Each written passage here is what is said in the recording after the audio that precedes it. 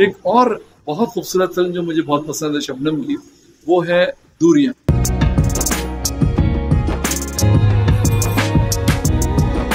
दूरियाँ में अगेन फैसल रहमान शबनम के साथ थे और फैसल रहमान के साथ मोहम्मद अली साहब। मोहम्मद अली साहब जो हैं, वो शबनम के शोहर हैं, उसके बाद आपस में इख्तलाफात हो जाते हैं सेपरेशन हो जाती है, अलीहदगी हो जाती है, फासले बढ़ जाते हैं। फैसल इस दौरान में बड़ा होता है और जब फैसल बड़ा होता है और वो एक दिन पूछता है अपनी माँ से कि मेरा बाप कौन है तो माँ उससे छुपाती है, क्योंकि वो चाहती नहीं है कि वो गड़े मुर्दे दोबारा से उखाड़े जाएँ और दोबारा से मोहम्मद अली साहब उनकी ज़िंदगी में शामिल हों। लेकिन जब वो बहुत ज़्यादा इंसिस्ट करता है, इसरार करता है तो वो बताती है कि तुम्हारा बाप जो है वो इस सूबे का गवर्नर है और हमारी पहुँच से बहुत ऊपर है। उस तक हम नहीं बता सकते, उसे यकीन नहीं दिला सकते कि तुम उनके बेटे हो।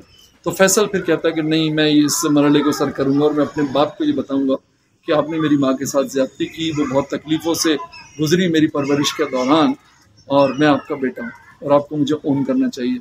तो बड़ी खूबसूरत फ़िल्म थी। शबनम का इसके अंदर मुख्तलिफ़ शेड्स हैं अगेन परफॉर्मेंस के मोहम्मद अली साहब के साथ। एक तो उनका शेड्स हैं कि वो उनके साथ चल रही हैं और वो उसमें मोहब्बत और फिर वो शादी और फिर वो अलहदगी और फिर उसके बाद शोहर की जुदाई के मराहल और उसके बाद फिर अपने बेटे की परवरिश और फिर जब वो जवान हो जाता है तो उसके सवालों के जवाब देना।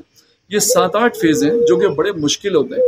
लेकिन शबनम को जब हम स्क्रीन पे देखते हैं इस फ़िल्म के अंदर तो उन्होंने ये किरदार इतनी खूबसूरती के साथ अदा किया कि ऐसा लग रहा था कि जैसे कि आप स्क्रीन पे किसी एक्ट्रेस को नहीं देख रहे, बल्कि रियल एक ऐसी खातून को आप देख रहे हैं। जिस पर वो सब कुछ बीती हो। तो ये एक बड़ा ज़बरदस्त शबनम की ज़िंदगी का जो है ये भी यादगार फ़िल्म है और यूट्यूब के ऊपर ये मौजूद है बारहा ये भी देखी जा सकती है।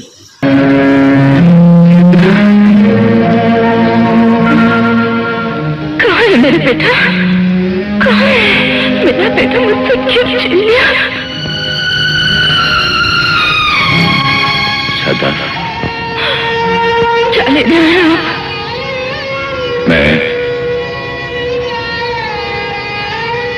तुम्हें लेने आया।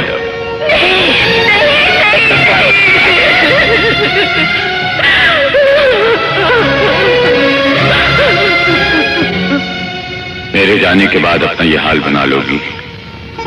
मुझे इसका अंदाज़ा नहीं चल चल। मैं तुम्हें लेने आया। हाँ, आज और इसी वक्त मैं ये शादी डिक्लेयर करता हूँ। इतनी सी बात कहने में इतनी देर कर दी। दादा मिला तो उसने कहा होगा, मैं सेल्फिश हूँ, खुद गर्ज हूँ। तुझे मैं अपनी साथ की मिल्कियत समझती हूँ। I was prepare for this moment सामान बांधो तेरा? जाएगा दादा के पास। लेकिन मुझे ये क्यों नहीं बताया कि मेरा बाप ज़िंदा है? दादा की तरह ऊँचा मत बोल।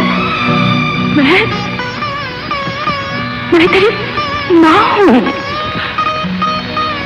मेरे बाप से अलहदगी कैसे हुई थी? हक है। हक है तुझे पूछने का।